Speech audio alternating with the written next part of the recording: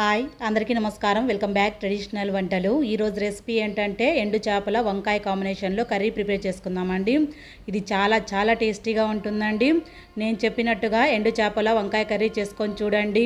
ఒక్కసారి టేస్ట్ చేశారనుకోండి mutton chicken కూడా పక్కన పెట్టేస్తారండి. అంత టేస్టీగా ఉంటుంది. మరి ఎందుకు ఆలస్యము? అంత టేస్టీ అయినా ఎండు చేపల వంకాయ కర్రీని ఎలా ప్రిపేర్ చేసుకోవాలో? ఇప్పుడు చూసేద్దామా? ముందుగా ఎండు చేపలు తీసుకుందామండి. నేనైతే ఈ టైప్ ఆఫ్ ఎండు చేపలు తీసుకుంటున్నాను. ఇవే అని కాదండి పొడువుగా కడ్డీ చేపలు అంటారు కదండి ఆ చేపలతో అయినా చేసుకోవచ్చు. ఇలాగ ఎండు చేపలను తీసుకున్నాను. సుమారుగా ఒక వంద గ్రాముల దాకా ఎండు చేపలు తీసుకున్నానండి. ఎండు చేపలన్నిటికీ కూడా కాంబినేషన్గా ఒక అర కిలో దాకా వంకాయలు తీసుకున్నానండి. ఇలాగ వంద గ్రాముల ఎండు చేపలకి ఒక హాఫ్ కిలో దాకా వంకాయలు అయితే సరిపోతాయి అన్నమాట ఎండు చేపలకి ఇలా తల కొద్దిగా తోక కొద్దిగా తీసేసుకుందామండి. ఇలా పొడవుగానే ఉండాలన్నమాట. ఎండు చేప అనేది మరి సన్నగా లేకుండా ఇప్పుడు చూపించిన విధంగా ఇలాగ ఉండేలా చూసుకోండి. ఒకవేళ మీరు పెద్ద చేపలు తీసుకున్నా అంతేనండి. అందులో రెండు భాగాలు చేసుకోండి అంతేను. ఇలా పొడవుగా ఉండాలన్నమాట ఎండు చేపలు అనేటివి. ఇలాగే తోక తల అన్నీ తీసేసుకుందామండి. అన్ని చేపలకు తీసేసుకొని పెట్టుకుందాము. ఇలా రెడీగా పెట్టుకుందామండి. ఇలా రెడీ చేసి పెట్టుకున్న ఎండు చేపలని ఇప్పుడు వేయించుకుందాము. స్టవ్ మీద ఒక ప్యాన్ పెట్టుకొని అందులోకి ఎండు చేపలన్నీ వేసుకోండి. ఇప్పుడు స్టవ్ అనేది మీడియం ఫ్లేమ్లో పెట్టుకొని ఎండు చేపలన్నీ మంచి కలర్ వచ్చేంత వరకు కూడా వేయించుకుందాము. ఇలాగా మంచి కలర్ రావాలండి. మీడియం ఫ్లేమ్లోనే పెట్టుకోవాలి స్టవ్ అనేది. ఈ కలర్ రావాలండి. ఈ కలర్ రాగానే స్టవ్ ఆఫ్ చేసుకోండి. ఇలాగా వేయించి పెట్టుకున్న ఎండు చేపలన్నింటినీ కూడా ఇలాంటి ఒక గిన్నెలోకి వేసుకొని వాటర్ వేసుకొని ఒక నాలుగైదు సార్లు క్లీన్గా వాష్ చేసుకోండి. ఎండు చేపలు అనేది నీచు వాసన రాకోకుండా ఇలా బాగా క్లీన్ చేసుకుందామండి. ఇలాగా నాలుగైదు సార్లు క్లీన్గా వాష్ చేసుకొని ఇవన్నీ కూడా ఒక ప్లేట్లోకి తీసుకుందాము. ఇలాగా వాష్ చేసుకున్న ఎండు చేపలన్నింటినీ కూడా పక్కన పెట్టేసుకుందామండి.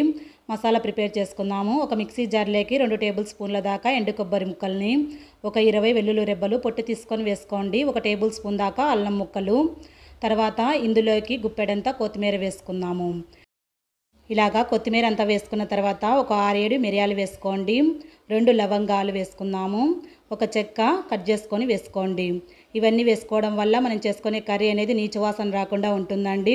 కొద్దిగా వాటర్ వేసుకొని మెత్తని పేస్ట్ లాగా గ్రైండ్ చేసుకుందాము. మసాలా ఇలా రెడీ చేసుకొని పక్కన పెట్టేసుకుందామండి. ఇలాంటి గిన్నెలోకి వాటర్ వేసుకొని ఇందులోకి కొద్దిగా సాల్ట్ వేసుకొని ఈ గిన్నె పక్కన పెట్టేద్దామండి. తర్వాత వంకాయలు తీసుకున్నాం కదండి. ఒక అర కేజీ దాకా ఇప్పుడు ఆ వంకాయలన్నింటినీ కూడా కట్ చేసుకుందాము. ఇలాగా ఇప్పుడు చూపించిన విధంగా వంకాయ కట్ చేసుకోండి. పెద్ద పెద్ద ముక్కలుగా కట్ చేసుకుందాము. ఇలాగా వంకాయలో హాఫ్గా కట్ చేసుకోండి మళ్ళీ హాఫ్లో మరొక హాఫ్ కట్ చేసుకోండి. అంటే ఒక వంకాయలో నాలుగు భాగాలుగా కట్ చేసుకోండి. వంకాయలు ఇలా పెద్ద పెద్ద ముక్కలుగా కట్ చేసుకొని ఇందాక రెడీగా పెట్టుకున్న సాల్ట్ వాటర్లోకి వేసుకోండి. ఇలా వాటర్లో వేసుకోవడం వల్ల వంకాయలు అనేవి నల్లబడకుండా ఉంటాయన్నమాట. ఇలా అన్ని ముక్కలు కట్ చేసుకొని పక్కన పెట్టేసుకుందాము. స్టవ్ మీద మరొక ప్యాన్ పెట్టుకొని అందులోకి రెండు టేబుల్ స్పూన్ల దాకా ఆయిల్ వేసుకోండి. ఆయిల్ అనేది కొద్దిగా వేడిన తర్వాత ఒక టీ స్పూన్ దాకా పోపు దినుసులు వేసుకుందాం. తర్వాత రెండు పెద్ద ఆనియన్స్ తీసుకొని ఇలా పొడవుగా చీలికలుగా కట్ చేసుకొని వేసుకోండి. ఇవన్నీ వేసుకొని ఆయిల్లో కొద్దిసేపు వేయించుకుందామండి. ఆనియన్స్ అనేటివి ఇలాగా ఆనియన్స్ వేయించుకున్నాక రెండు రెమ్మల కరివేపాకు ఇలా కట్ చేసుకొని వేసుకోండి.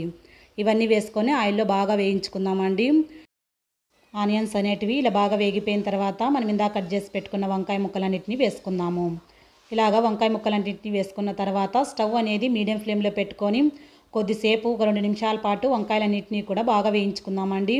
ఇలా వేయించుకున్నాక టేస్ట్కి తగినంత రాళ్ళ ఉప్పు ఒక టీ స్పూన్ దాకా పసుపు వేసుకుందాము ఒక టేబుల్ స్పూన్ దాకా కారం వేసుకుందాము. ఇవన్నీ వేసుకొని ఇప్పుడు స్టవ్ అనేది లో ఫ్లేమ్లో పెట్టుకొని ఒక రెండు నిమిషాల పాటు బాగా వేయించుకుందామండి వంకాయ ముక్కలన్నింటినీ కూడా. ఇలాగా వంకాయ ముక్కలన్నింటినీ కూడా ఇలా బాగా వేయించుకున్న తర్వాత ఇందాక గ్రైండ్ చేసి పెట్టుకున్నాం కదండి ఆ మసాలా పేస్ట్ అంతా వేసుకోండి. అదే మిక్సీ జార్లోని కొద్దిగా వాటర్ వేసుకొని ఇదంతా బాగా మిక్స్ చేసుకోండి. ఇప్పుడు స్టవ్ అనేది లో ఫ్లేమ్లో పెట్టుకొని ఇదంతా బాగా మిక్స్ చేసుకుందామండి.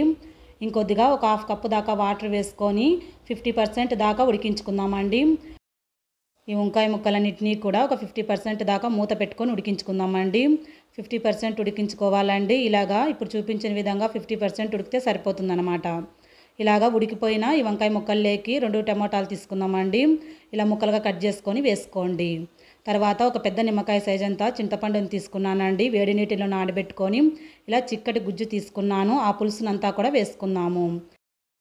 ఇలాగా చింతపండు రసం వేసుకోవడం వల్ల మనం చేసుకునే ఎండు చేపల కర్రీ అనేది నీచు వాసన రాకుండా ఉంటుందండి.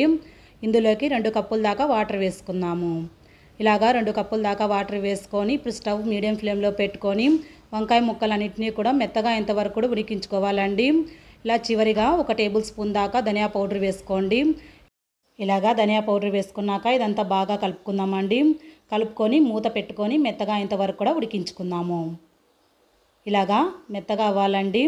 ఇప్పుడు చూడండి ఎంత చక్కగా ఉడికిపోయిందో. ఆయిల్ కూడా పైకి తేలిపోయింది కదా. ఇలా ఉడికేంత వరకు కూడా ఉడికించుకోవాలండి. ఇప్పుడు చూడండి వంకాయ ముక్క చూద్దాము.